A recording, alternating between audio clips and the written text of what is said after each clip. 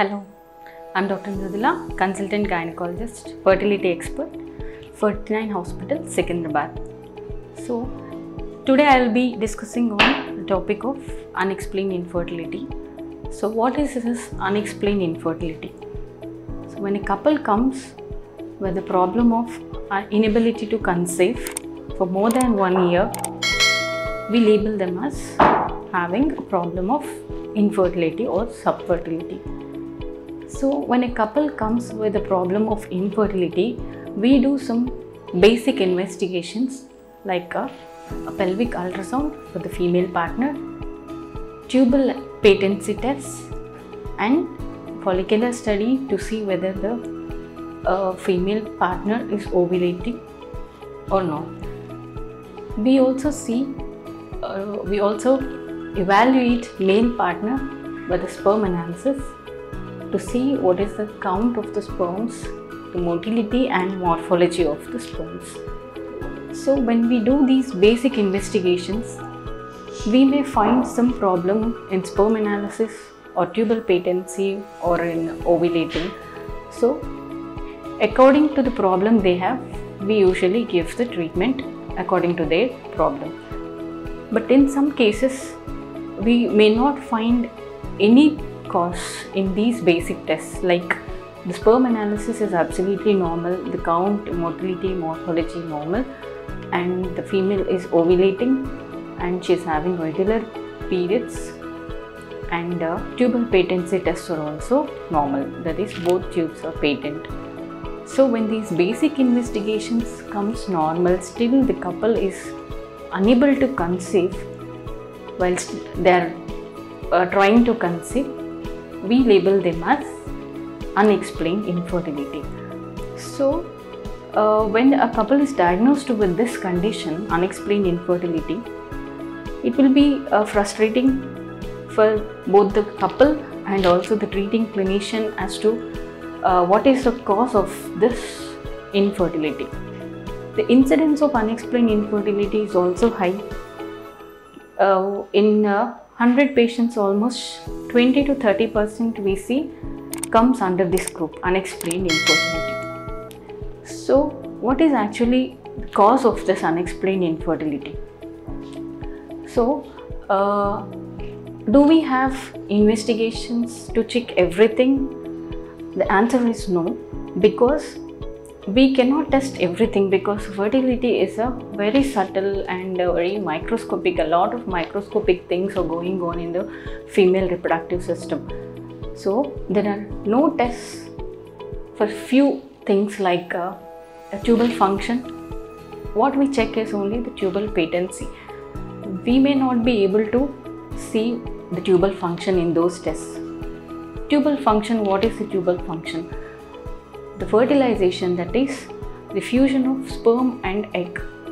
It takes place in the fallopian tubes and the tubal function is transportation of the sperms from the uterus towards the egg and transportation of the egg as soon as it is released from the ovary towards the sperm and after the embryo is formed after the fertilization after the embryo is formed transportation of this embryo towards the uterus. So all this is the tubal function and also it should support the embryo formed for a initial few days before it is implanted in the womb.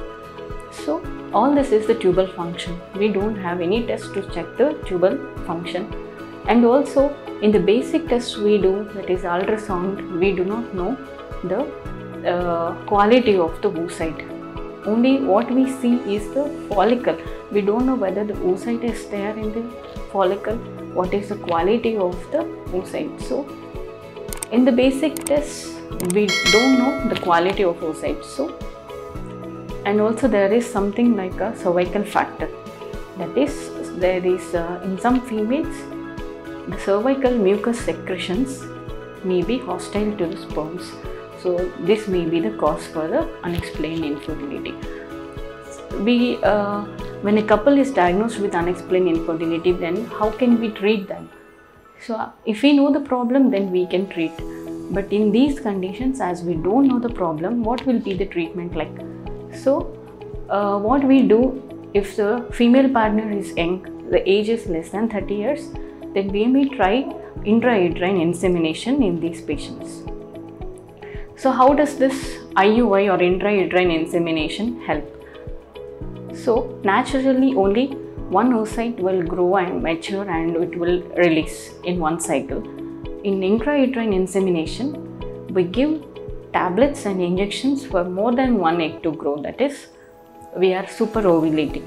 That is, um, we give tablets and injections for more than one, two or three oocytes, three follicles to grow, so that the chances of pregnancy is increased. And also in intrauterine insemination, we take the sperm sample from the husband, we process the sperm, centrifugation, and uh, we separate the highly motile sperms. We take off all the pus cells and uh, uh, plasma. We separate the sperms from these epithelial pus cells, and then we add some media so that the motility of the sperms is increased. So we are increasing the motility and we are taking the highly uh, uh, high quality sperms.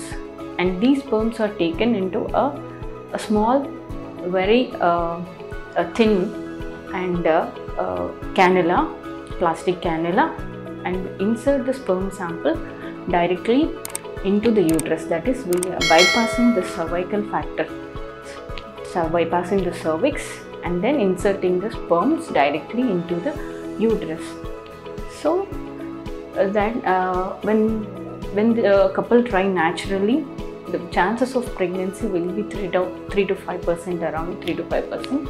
And when we do intrauterine insemination the chances will increase up to 10 to 15 percent. So how many cycles they can try IUI if all the factors are normal the age is young uh, younger patients every other parameters are normal sperm is normal tubal patency is okay then we can try three cycles of IUI if in three cycles of IUI the patient doesn't conceive, then the chances of getting pregnancy in the IUI after three cycles will come down.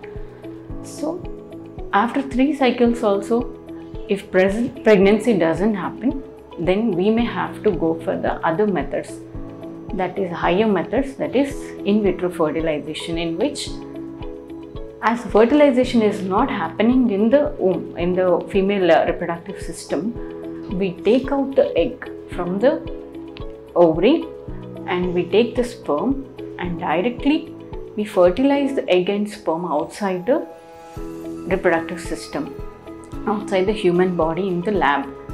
That may be just an IVF in which we take the eggs in a dish and then we add good quality sperms and uh, allow fertilization to happen spontaneously that is IVF in vitro fertilization the other thing somewhat advanced to this IVF is the ICSI in which we take each sperm, each good quality sperm we take, we select the sperm, take the sperm and directly inject the sperm into the oocyte.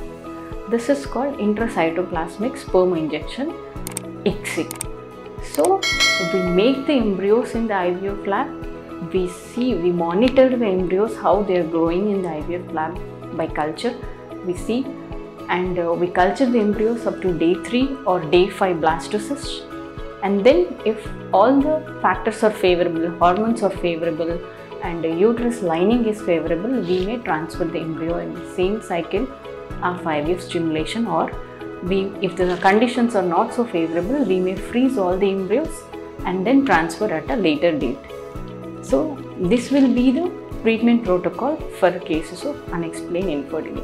Thank you. Hi, this is Taman. Hi, this is Shraddha Das. Hi, I'm Priyadarshi. Nenam Adi. Hi, I'm Kashish Bora. Hi, name Sri Vishnu. Hi, this is Aditya. Hi, this is Naga Anvesh. Please subscribe to Social Post. Please subscribe to Social Post. Please subscribe Social Post. Please subscribe to Social Post.